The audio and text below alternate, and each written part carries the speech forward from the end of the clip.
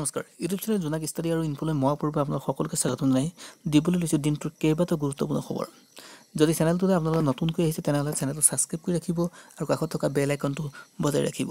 কিয়নো আমি আপলোড দিয়া ভিডিঅ'সমূহৰ নটিফিকেশ্যন আপুনি সকলোতকৈ আগত পাব তেতিয়াহে পাব। বন্ধুসকল আপোনালোকে অন্যান্য বন্ধুসকলৰ এই বাতৰিটো শ্বেয়াৰ কৰিব যাতে তেওঁলোকে এনেকুৱা ধৰণৰ বিভিন্ন খা খবৰ ততালৈকে পাই থাকে।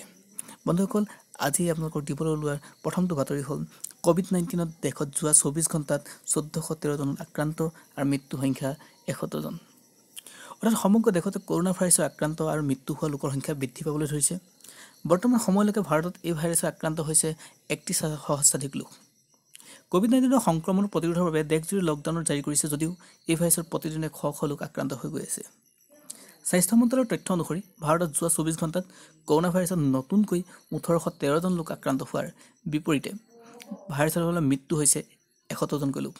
উল্লেখ্য যে এই ভাইৰাছত আক্ৰান্ত হৈ দেশত বৰ্তমানলৈকে এক হাজাৰ আঠজন লোকে প্ৰাণ হেৰুৱাইছে অৰ্থাৎ হাজাৰ ঘৰত অতিক্ৰম কৰিছে।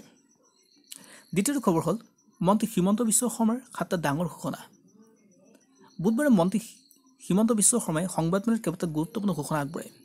সংবাদমেলত ঘোষিত প্ৰধান ঘোষণাকেইটা এনেধৰণৰ। আগন্তুক সময়ত বাজেটত ধাৰ্য কৰা পুঁজি প্ৰথম পৰ্যায়ত মুকলি কৰা হ'ব দহ শতাংশ। পূৰ্বে এই ধৰণৰ পৰিমাণ আছিল পঁচিছ শতাংশ। দ্বিতীয়টো হ'ল প্ৰত্যক্ষ অনুমোদন অবিহনে কোনো বিভাগে বাহন ক্ৰয় কৰাৰ ক্ষেত্ৰত বাধা আৰোপ কৰা হৈছে। লগতে ৰাজ্য চৰকাৰে বিত্ত বিভাগৰ অনুমতি নোহোৱাকৈ কোনো আঁচনি ৰূপায়ণ কৰা নহ'ব। তৃতীয়তে আগন্তুক সময়ত পৰিৱেশ সুস্থিৰ নোহোৱালৈকে অসম চৰকাৰে কোনো ধৰণৰ ছেমিনাৰ বা অনুষ্ঠান আয়োজন নকৰে পঞ্চতাৰকা হোটেলত। চতুৰ্থতে কাৰ্যালয়ৰ কামত বহিৰাজ্য বা বিদেশলৈ গৈ কোনো বিষয়া কৰ্মচাৰী পঞ্চতাৰকা হোটেলৰ পৰিৱৰ্তে সাধাৰণ হোটেলতে থাকিব লাগিব। পাঁচ নম্বৰ ৰাজ্য চৰকাৰ কোনো বিষয়াই বৈদেশিক ভ্ৰমণত যাব নোৱাৰিব। ৰাজহুৱা স্বাৰ্থজনিত হ'লে বিবেচনা কৰা হ'ব। ষষ্ঠটো সকলো পৰিষদ নিগম নিকায় বোৰ্ডৰ চেয়াৰমেন ভাইচ চেয়াৰমেনৰ দৰমহা পঁচিছ শতাংশ কৰ্তন। সাত নম্বৰটো আগন্তুক চাৰি মাহৰ বাবে বিধায়কৰ পুঁজি আবণ্টন দিয়া নহ'ব। লগতে আন কেতবোৰ তথ্য মন্ত্ৰী ডাঙৰীয়ে সদৰি কৰে। যেনে দিল্লীত অসমৰ দহগৰাকী লোক কৰোণাত আক্ৰান্ত লগতে এগৰাকী অসমৰ লোকৰ মৃত্যু হৈছে।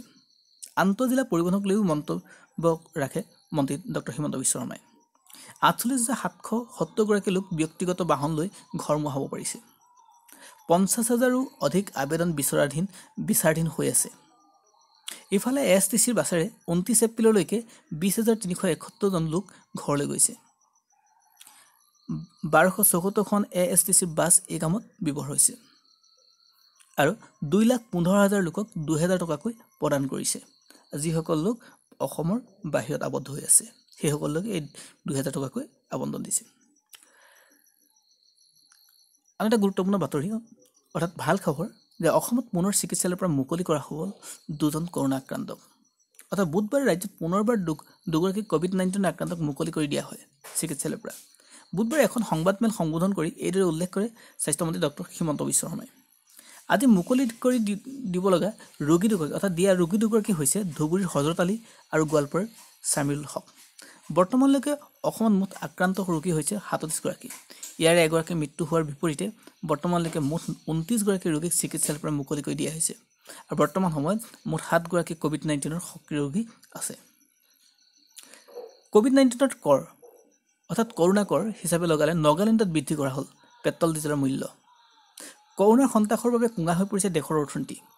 এই পৰিস্থিতিৰ সৈতে মোকাবিলা কৰিবলৈ শেহতীয়াকৈ নগালেণ্ড চৰকাৰে বৃদ্ধি কৰিলে পেট্ৰল ডিজেলৰ মূল্য। সম্ভৱতঃ প্ৰথমবাৰৰ বাবে নগালেণ্ড চৰকাৰে পেট্ৰল ডিজেলৰ আৰোপ কৰিলে ক'ভিড নাইণ্টিন কৰ। মঙলবাৰে এই কৰ আৰোপ কৰা এক নিৰ্দেশনা জাৰি কৰে চৰকাৰে।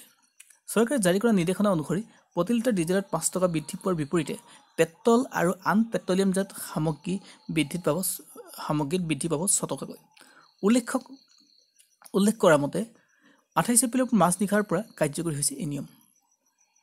আন এটা গুৰুত্বপূৰ্ণ খবৰ হ'ল দিল্লীত কৰোণা ভাইৰাছত আক্ৰান্ত হ'ল অসমৰ আঠজন। এজনৰ মৃত্যু। দেশত এতিয়া অব্যাহত আছে কৰোণা ভাইৰাছৰ সন্ত্ৰাস। প্ৰত্যেক দিনাই দেশত বাঢ়ি আছে কৰোণাৰ আক্ৰান্ত ৰোগীৰ সংখ্যা। দিল্লীত কৰোণা ভাইৰাছত আক্ৰান্ত হৈছে অসমৰ আঠজন লোক। তাৰে ভিতৰত চি আৰ পি এফ জোৱান ইক্ৰাম হুছেইনে মঙলবাৰে মৃত্যু সাৱটিলৈ বৰপেটা জিলাৰ সৰুপেটাৰ ইক্ৰাম হুছেইন কৰ্মসূত্ৰে দিল্লীত আছিল।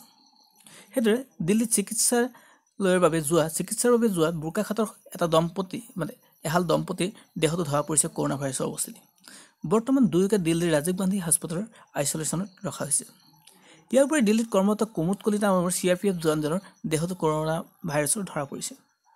কিন্তু দিল্লীত কৰোণা আক্ৰান্ত হোৱা অসমৰ বাকী কেইজন ৰোগীৰ সবিশেষ এই মুহূৰ্তলৈ লাভ কৰিবলৈ সক্ষম হোৱা নাই। শিক্ষাৰ্থীসকলৰ বাবে ইউটিউব চেনেল মুকলি। বুধবাৰে ৰাজ্যৰ শিক্ষামন্ত্ৰী হিমন্ত বিশ্ব শৰ্মাই বহুকেইটা গুৰুত্বপূৰ্ণ ঘোষণাই সম্বোধন কৰে এখন সংবাদমেল সংবাদমেল এই সংবাদমেলত শৈক্ষিক দিশৰ ওপৰতো কেইবাটাও গুৰুত্বপূৰ্ণ সিদ্ধান্ত অচিৰে গ্ৰহণ কৰাৰ কথা সদৰি কৰে। বিদ্যালয় মহাবিদ্যালয়ৰ অধ্যক্ষসকলক আগন্তুক সময়ত শৈক্ষিক দিশৰ সৈতে মোকাবিলা কৰিব পৰাকৈ কিছু নীতি প্ৰস্তুত কৰাৰ দিহা কৰিছে।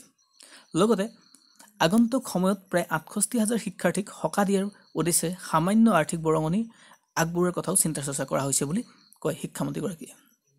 আনহাতে লকডাউনৰ সময়ছোৱাত শিক্ষাৰ্থীসকলে পাঠ্যপুথি আৰু দিনপঞ্জীৰ ওপৰত ভিত্তি কৰি বিশ্ববিদ্যা অসম ইউটিউব চেনেল আৰু কেন্দ্ৰীয় চৰকাৰৰ দীক্ষা নামৰ এপটোৰ সৈতে সংযুক্ত থাকিবলৈ আহ্বান জনায় ডক্টৰ হিমন্ত বিশ্ব শৰ্মাই।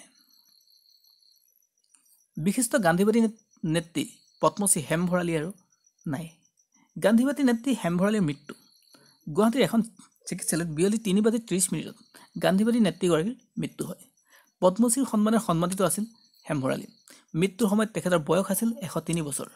ৰাজ্যিক মৰ্যাদাৰে শেষকৃত্য সম্পন্ন কৰা হ'ব বিশিষ্ট নেত্ৰীগৰাকীৰ। হেম ভৰালীৰ মৃত্যুত মুখ্যমন্ত্ৰী সৰ্বানন্দ সোণোৱালৰ লগতে বিভিন্ন দল সংগঠনে গভীৰ শোক প্ৰকাশ কৰিছে। মে' মাহত ৰাজ্যৰ কৰ্মচাৰীসকলে দৰমহা পাবনে? সংবাদমেলত সদৰি কৰিলে বিত্তমন্ত্ৰী। বিত্তমন্ত্ৰী হিমন্ত বিশ্ব শৰ্মাই সংবাদমেলত কৰ্মচাৰীসকলৰ দৰমহাৰ সন্দৰ্ভতো এক গুৰুত্বপূৰ্ণ ঘোষণা কৰে। তেওঁ কয় যে দেশৰ বিভিন্ন ৰাজ্যত কৰ্মচাৰীসকলৰ মাহিলী দৰমহা বিছৰ পৰা পঞ্চাছ শতাংশ পৰ্যন্ত কৰ্তন কৰা হৈছিল কিন্তু অসমে এনে কৰ্তনৰ কথা চিন্তা কৰা নাই। মে' মাহত অসম চৰকাৰৰ সকলো কৰ্মচাৰীকে সম্পূৰ্ণ দৰমহা আদায় দিয়া হ'ব। কিন্তু পূৰ্বৰ এক তাৰিখৰ সলনি এইবাৰ দৰমহা লাভ কৰিব আঠ তাৰিখে। উল্লেখ যে এই সংবাদমেলৰ ৰাজহ সংঘৰ পৰিমাণ যথেষ্ট হ্ৰাস পোৱাৰ কথা সদৰি কৰে। ইফালে কৰ্মচাৰীৰ দৰমহা চৰকাৰে দিব লগা সুত মিলাই ৰাজ্য চৰকাৰক প্ৰতি মাহত ছয়ত্ৰিছশ টকাৰ প্ৰয়োজন হোৱাৰ কথা উল্লেখ কৰে মন্ত্ৰী হিমন্ত বিশ্ব শৰ্মাই। আঠ দিনত দুই কোটি টকাৰ মাংস খালে গুৱাহাটীবাসীয়ে। কৰোণা মহামাৰী মহাসংক্ৰমণৰ বাবে এতিয়া দেশজুৰি লকডাউন সেই লকডাউনৰ সময়ত গুৱাহাটীবাসীৰ বাবে আঠ দিন পূৰ্বে আৰম্ভ কৰিছিল এক বিশেষ সেৱা। পচন্দৰ মাংস কণী গুৱাহাটীবাসীক যোগান ধৰা আৰম্ভ কৰিছিল ৰাজ্যিক পশুধন আৰু হাঁহ কুকুৰা নিগমে। পিছে এই আঠ দিনত নিগমে বিক্ৰী কৰিলে গুৱাহাটীবাসীক বিছ টনকৈ অধিক ছাগলীৰ মাংস। এই হিচাপত ছাগলী মাংসৰ পৰা নিগমে পালে এক কোটি পঞ্চাছ লাখ টকা। একেদৰে কুকুৰাৰ মাংস বিক্ৰী হ'ল এই সময়ছোৱাত প্ৰায় পঞ্চাছ লাখ টকা। বলিউডৰ অভিনেতা ইয়াৰ ইৰফান খানৰ দেহাৱসান। তিনিদিন পূৰ্বে মৃত্যু হৈছিল মাতৃৰ। বলিউডৰ অভিনেতা ইৰফান খানৰ দেহাৱসান। মঙলবাৰে পেটৰ সংক্ৰমণত ভোগাৰ পিছতে ককিলাবেন ধীৰুভাই আম্বানী হাস্পতাল ভৰ্তি কৰোৱা অভিনেতাজনক। দুহেজাৰ ওঠৰ চনত কেঞ্চাৰৰ পৰা মুক্তি লাভ কৰিছিল অভিনেতাজনে। ইৰফান খানৰ পঞ্চানব্বৈ বছৰীয়া মাতৃ ছয়জা বেগমৰ তিনিদিন পূৰ্বে জয়পুৰত মৃত্যু হৈছিল। কৰোণা ভাইৰাছৰ বাবে দিয়া লকডাউনৰ ফলত মাতৃৰ অন্তিম সংস্কাৰত উপস্থিত থাকিব পৰা নাছিল অভিনেতাজন। কেঞ্চাৰৰ পৰা মুক্ত হোৱাৰ পিছত দুহেজাৰ ঊনৈছ চনত পুনৰ ছবিটোলৈ প্ৰত্যাৱৰ্তন ঘটাই ইংৰাজী মিডিয়াম নামৰ ছবিখনৰ বাবে শ্বুটিং কৰিছিল ইৰফান খানে। লকডাউনত প্ৰতিভাৰ প্ৰমাণ দিলে কণমানি ছাত্ৰই। উদ্ভাৱন কৰিলে লাইট ফেন থকা কলম। ডিমুৱাল বিদ্যা ভৱনৰ সপ্তম শ্ৰেণীৰ ছাত্ৰ অম্বৰীশ স্বৰ্ণকৰে লকডাউনৰ মাজতে অধ্যয়নৰ উপযোগীকৈ উদ্ভাৱন কৰিলে এটা বিশেষ কলম। গ্ৰীষ্মকালত বিদ্যুতৰ লুকাভাকুৰ পৰা হাত সাৰিবলৈ কণমানি ছাত্ৰজনে তৈয়াৰ কৰিছে এটা বিশেষ কলম। শিৱসাগৰ জিলাৰ হাঁহচৰাইৰ কুজিবালিৰ কণমানি ছাত্ৰজনে লকডাউনৰ মাজতে উদ্ভাৱন কৰিলে এই বিশেষ কলমটো। এই কলমটোত সংলগ্ন কৰা হৈছে এটা এল ই ডি লাইট আৰু এখন পাংখা।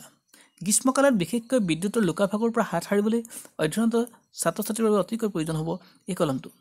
ছাত্ৰজনে উদ্ভাৱন কৰা এই কলমটোৰ নাম দিছে পেন লাইটাৰ ফেন। আন এটা গুৰুত্বপূৰ্ণ বাতৰি হ'ল গুৱাহাটী বিশ্ববিদ্যালয়ৰ দুহেজাৰ বিছ আৰু একৈছ বৰ্ষৰ শৈক্ষিক দিনপঞ্জীৰ যথেষ্ট সাল সলনি।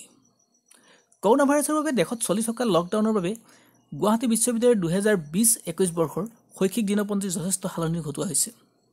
কৰোণাজনিত পৰিস্থিতিৰ বাবে গুৱাহাটী বিশ্ববিদ্যালয়ৰ স্নাতক আৰু স্নাতকোত্তৰ শ্ৰেণীৰ নামভৰ্তিৰ দিন পূৰ্বতকৈ সলনি কৰিছে। স্নাতক শ্ৰেণীৰ নামভৰ্তিৰ তাৰিখ পোন্ধৰ জুলাই উল্লেখ কৰা হৈছে যদিও উচ্চতৰ মাধ্যমিকৰ ফলাফলৰ ওপৰত নিৰ্ভৰ কৰিব এই তাৰিখ। আনহাতে স্নাতক দ্বিতীয় চতুৰ্থ ষষ্ঠ ষান্মাসিকৰ পৰীক্ষা একেলগে মাহত অনুষ্ঠিত কৰিব গুৱাহাটী বিশ্ববিদ্যালয়ে। প্ৰকল্পৰ ক্ষেত্ৰত পুথিভঁৰাল বা ই পুথিভঁৰাল সম্পৰ্কীয় প্ৰকল্পক অনুমতি প্ৰদান কৰিছে বিশ্ববিদ্যালয়ে। স্নাতকোত্তৰ শ্ৰেণীৰ পৰীক্ষা পোন্ধৰ আগষ্টৰ পাছত অনুষ্ঠিত হ'ব। কিন্তু বাকী ৰৈ যোৱা আভ্যন্তৰীণ পৰীক্ষাসমূহ গৃহ কৰ্মভিত্তিক হ'ব। এনেদৰে দুহেজাৰ বিছ একৈছ বৰ্ষৰ স্নাতকোত্তৰ প্ৰৱেশ পৰীক্ষা পোন্ধৰ ছেপ্টেম্বৰৰ পূৰ্বে হোৱাৰ লগতে স্নাতকোত্তৰ শ্ৰেণীৰ নতুন শিক্ষাবৰ্ষ আৰম্ভ হ'ব ছেপ্টেম্বৰৰ পৰা। সকলো বি এড পৰীক্ষা জুলাই শেষ সপ্তাহত অনুষ্ঠিত হ'ব। এল এল বি পৰীক্ষা আন স্নাতক শ্ৰেণীৰ পৰীক্ষাৰ দৰেই হ'ব আৰু এম এড পৰীক্ষা আন স্নাতকোত্তৰ পৰীক্ষাৰ দৰে হ'ব বুলি জানিবলৈ দিছে। আই আই টি গুৱাহাটী ছাত্ৰই নিৰ্মাণ কৰি উলিয়াইছে ক'ভিড নাইণ্টিন চিকিৎসাৰ বাবে ইনটিউ বক্স ইনটিউবেশ্যন বক্স। সমগ্ৰ বিশ্বৰ লগতে অসমতো কৰোণা ৰোগ প্ৰতিৰোধৰ বাবে চৰকাৰ তথা বিভিন্ন সংস্থাই গৱেষণা আৰম্ভ কৰিছে।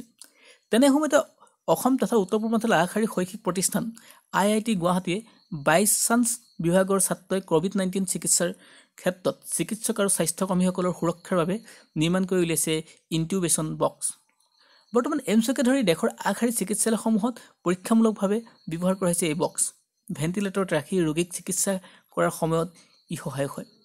ইনটিউবেশ্যন বক্স ভিতৰত ভিতৰত ৰাখি চিকিৎসা আৰম্ভ কৰিলে কৰোণা ভাইৰাছৰ সংক্ৰমণৰ ভয় হ্ৰাস পায়। কাৰণ ইয়াৰ ফলত কাহিলে বতাহত সাঁচিওৱাতে ই বক্সৰ ভিতৰতে আবদ্ধ হ'ব। গুৱাহাটী আই আই টি বায়'চাইন্স বিভাগৰ উমং মাথুৰে জানিবলৈ দিয়া মতে এই বক্সসমূহ এশ শতাংশ সুৰক্ষিত। No' face mask no' entry. ক'ত? সমগ্ৰ দেশজুৰি কৰোণা ভাইৰাছে ভয়াৱহ ৰূপ ধাৰণ কৰাৰ সময়তে কৰোণা ভাইৰাছৰ বিৰুদ্ধে যুঁজিছে প্ৰতিজন ভাৰতীয়। দ্বিতীয় পৰ্যায়ৰ লকডাউনৰ সমাপ্ত হোৱাৰ পূৰ্বে প্ৰধানমন্ত্ৰী মোদীৰ সৈতে দেশৰ মুখ্যমন্ত্ৰীসকলৰ বৈঠক আৰু বৈঠকত দেশবাসীক মাস্কৰ ব্যৱহাৰ কৰিবলৈ আহ্বান জনাইছিল প্ৰধানমন্ত্ৰীগৰাকীয়ে। সেই উদ্দেশ্য আগত ৰাখি হাইলাকান্দিত বিশেষ প্ৰদেশত ড্ৰিম নামৰ এটা স্বেচ্ছাসেৱী সংগঠনে হাইলাকান্দিৰ কেইবাটাও ৱাৰ্ডত লগালে no' face mask no' entry mask পৰিধান নকৰা লোকসকলৰ পথেৰে যাতায়াতত কৰিবলৈ দিয়া নহ'ব বুলি মন্তব্য কৰে স্থানীয় বাসিন্দাই। বন্ধুসকল এইকেইটা আছিল গুৰুত্বপূৰ্ণ বাতৰি।